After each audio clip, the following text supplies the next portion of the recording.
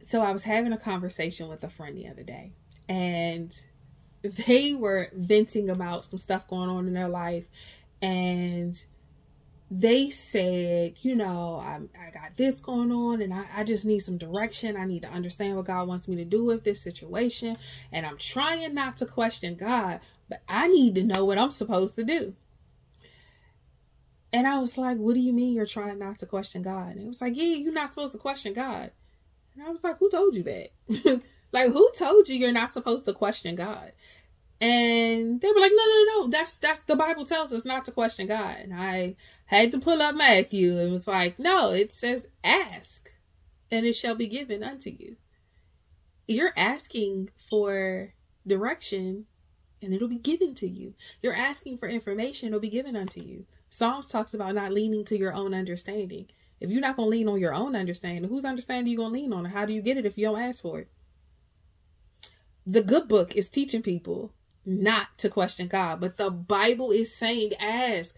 God is looking forward to your questions. He is looking forward to your conversation. That is part of the purpose of prayer. It's one of the reasons why we pray. God, I need to know what you want me to do. God, I need to know how I'm supposed to handle this. God, I need to know what the plan is. I know how the end is. I know what happens. It says all things work together for the good of them who love the Lord and are called according to his purpose.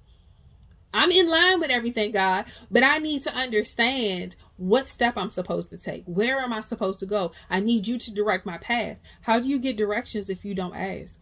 It's not like the GPS just automatically knows where you're going and tells you where you need to go. You got to ask, hey, GPS, give me the directions to this place. That's what y'all doing. That's what we do. And so I don't understand why we held on to that belief.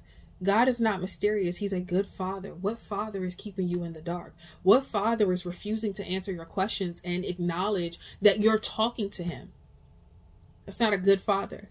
So let us really understand and focus on the fact that we have a God that we can talk to. We got examples throughout the Bible of people who have reached out and said, God, I need to know what your plan is here. God, if you're really telling me to do this thing, show me this sign. You're allowed to ask God for a sign, for confirmation.